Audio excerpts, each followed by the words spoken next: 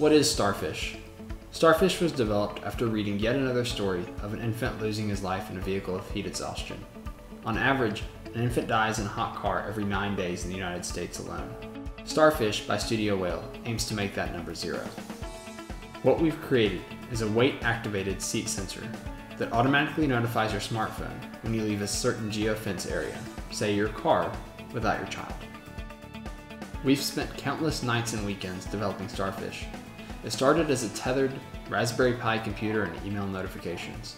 Today, Starfish is a standalone Bluetooth device that pairs with any smartphone. So how does it work? Setup with Starfish is easy. Simply open Starfish and pair it with your iPhone or Android device. Then, place Starfish under the pad of your child's car seat. Place your child in his or her car seat and Starfish will automatically activate. Starfish then builds a geofence around the unit. If you leave this geofence, you will be immediately notified that your child may be in danger. If the notification hasn't been acknowledged in 5 minutes, Starfish will then alert your emergency contacts.